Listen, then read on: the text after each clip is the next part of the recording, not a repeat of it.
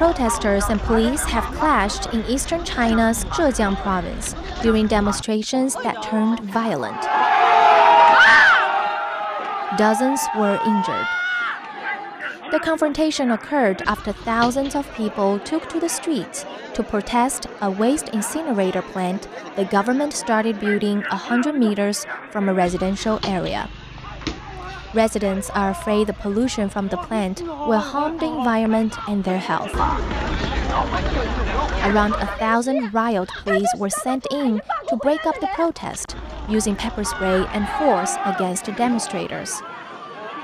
A local resident tells RFA that dozens of people were arrested.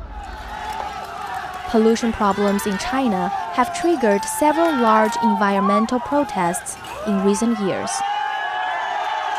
Members of China's growing urban middle class have shown an increased willingness to demonstrate against nuclear plants, waste disposal sites, and other projects that they fear damage the environment.